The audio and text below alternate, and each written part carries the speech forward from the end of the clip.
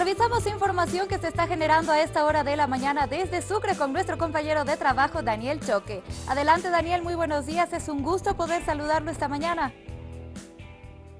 Gracias compañeros, saludo especial desde Sucre que el día de hoy está con cielo nublado, temperatura aumento de 12 grados centígrados. Darles a conocer entre la información que nuestro presidente, presidente Evo Morales, ha llegado eh, desde hoy muy temprano, a las 7 de la mañana, ha estado recibiendo proyectos eh, de Mi Riego 2 por parte de lo que es de dos alcaldes municipales. Los 29 alcaldes han presentado una diversidad de proyectos al presidente para que puedan ser evaluados y ah, después ya puedan ser financiados.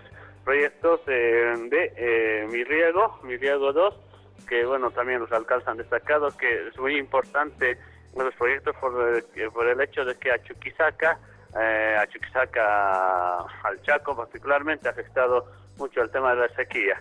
Entre otros temas, en este momento el presidente Morales está reunido con el, con, eh, el Codercan Chuquisaca, donde se está eh, dando a conocer los puntos y además está, eh, se va a dar a conocer la agenda, la posible agenda que se vaya a tener para los actos cívicos del próximo 25 de mayo. En otro ámbito de la información judicial, darles a conocer que el Consejo de la Magistratura ha ampliado el plazo para vocales y jueces. Esto a raíz de la poca participación que habría habido en los postulantes. Esa ampliación se la hace hasta el próximo miércoles.